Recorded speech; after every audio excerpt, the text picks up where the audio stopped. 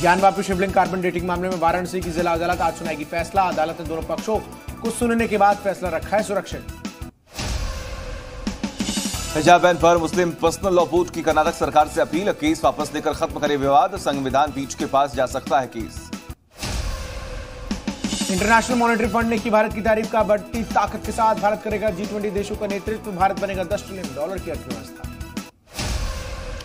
America में पाकिस्तान के वित्त मंत्री इशफाक डार की फजीयत हुई है। एयरपोर्ट पर देखते देखते लगा चोर चोर किनारे वर्ल्ड बैंक की बैठक में शिरकत करने आए हुए हैं इशाक।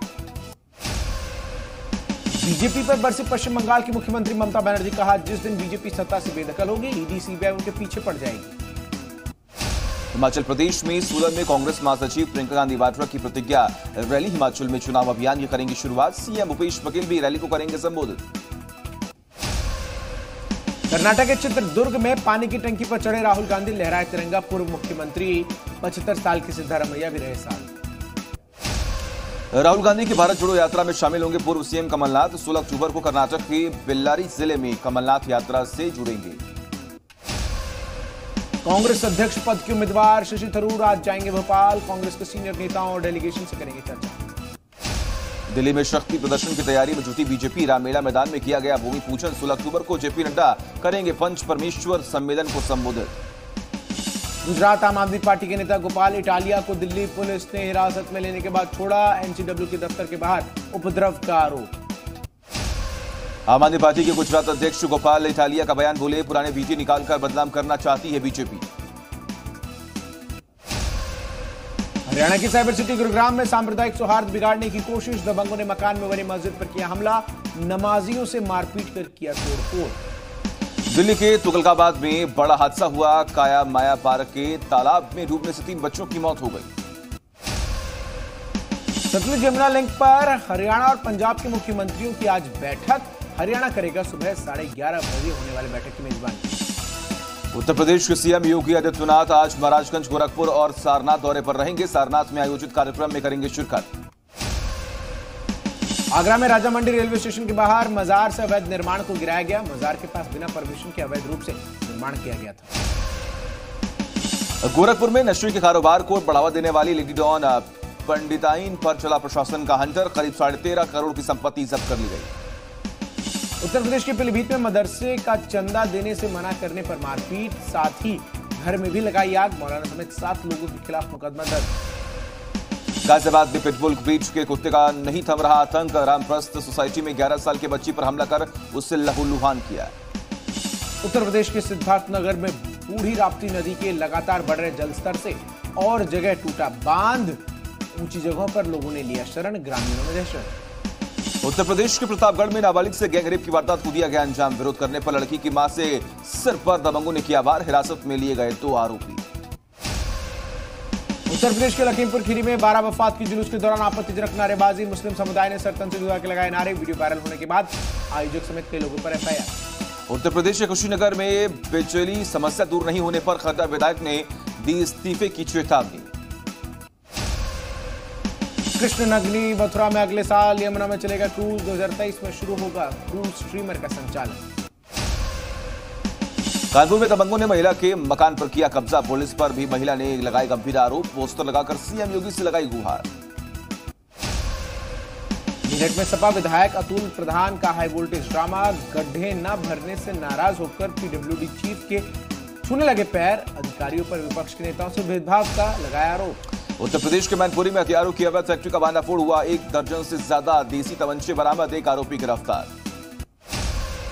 उत्तर प्रदेश के सहारनपुर में वाहनों के साथ लूटपाट करने वाले गिरोह का भांडाफोड़ किन्नर बनकर आरोपी करते थे लूटपाट चार सदस्य गिरफ़्तार। उत्तर प्रदेश के औरैया में करोड़ों की ठगी करने वाले पाँच आरोपी गिरफ़्तार एजेंसी की डीलरशिप दिलाने के नाम पर कर रहे थे ठगी। कानपुर में एटीएम कार्ड बदल कर ठगी करने वाले बुज़ुर्ग गिरफ़्तार। वाले गिरफ़्तार बुज़ुर्ग की मदद के बहाने एटीएम में दाखिल होकर करते थे कानपुर में स्पा सेंटर की आड़ में चल रहे सेक्स रैकेट का भांडाफोड़ किया गया। पुलिस ने मौके से तीन लड़कियों समेत तीन लोगों को गिरफ़्तार किया। यूपी के शाहजहांपुर में चलती गाड़ी में लगी आग कार सवार पुलिसकर्मी ने कूद कर बचाई जाए उत्तर प्रदेश के हमीरपुर में पुरानी रंजिश के चलते दो गुटों के बीच में जमकर मारपीट हुई। पाँच महिलाएँ गंभीर रूप से घायल भी हुई। गाजियाबाद में करवा चौथ पर पत्नी ने पति और उसकी प्रेमिका को दिखाया दिन में चाँद। पति प्रेमिका को करा रहा था शॉपिंग पत्नी ने मार्केट में ही दोनों का उतारा भूत राष्ट्रीय भारतीय दिवस के आयोजन को लेकर सीएम ने लॉन्च की वेबसाइट। कहा एक ही जगह पर मिलेगी पूरी जानकारी अभूतपूर्व होगा आयोजन। रायपुर में सैनिक कल्याण बोर्ड की बैठक में पूर्व सैनिकों की प्रोत्साहन राशि बढ़ाई गई। रायगढ़ और बैकुटपुर में बनाए जाएँगे rest house. Bishop P C और परिजनों के बैंक खातों से मिली बड़ी रकम। बैंक खातों में जमा साढ़े छह करोड़ की राशि बिशप पीसी सिंह के बेटे की हो चुकी है गिरफ्तारी। महाकाल लोक के लोकार्पण के बाद उज्जैन को एक और बड़ी सौगात। स्टेशन से महाकाल मंदिर तक दो किलोमीटर लंबे रोपवे के टेंडर को मिली मंजूरी। स्टेशन से पाँच मिनट में पहुँचेंगे महाकाल। श्री महाकाल लोक में अब श्रद्धालुओं की हर गतिविधि पर तीसरी नज़र से निगरानी। मंदिर में 350 से अधिक कैमरे भी लगवाए गए। प्रदेश के विदिशा में 45 लाख रुपए से भरे कंटेनर को लूटने वाले पाँच आरोपी गिरफ़्तार आँखों में मिर्ची पाउडर डालकर लूट की वारदात को दिया था अंजाम। मध्य प्रदेश में नशे के खिलाफ अभियान लगातार जारी रीवा में टमस नदी से बरामद की गई कच्ची शराब मौके से एक शातिर शराब तस्कर भी गिरफ़्तार। मध्य प्रदेश के अशोकनगर में अवैध शराब के खिलाफ छापेमारी बड़ी मात्रा में अवैध शराब नष्ट किया गया। रायपुर में मेडिकल कॉलेज में एडमिशन दिलाने के नाम पर ठगी दुर्गापुर मेडिकल कॉलेज में एडमिशन दिलाने के नाम पर हड़पी पंद्रह लाख रुपए की रकम। मध्य प्रदेश के रतलाम मेडिकल कॉलेज में साइंटिस्ट की नौकरी दिलाने की एवज में मांगी गई रिश्वत। एक महीने की सैलरी रिश्वत के रूप में मांगी गई। मेडिकल कॉलेज का वीडियो हुआ वायरल।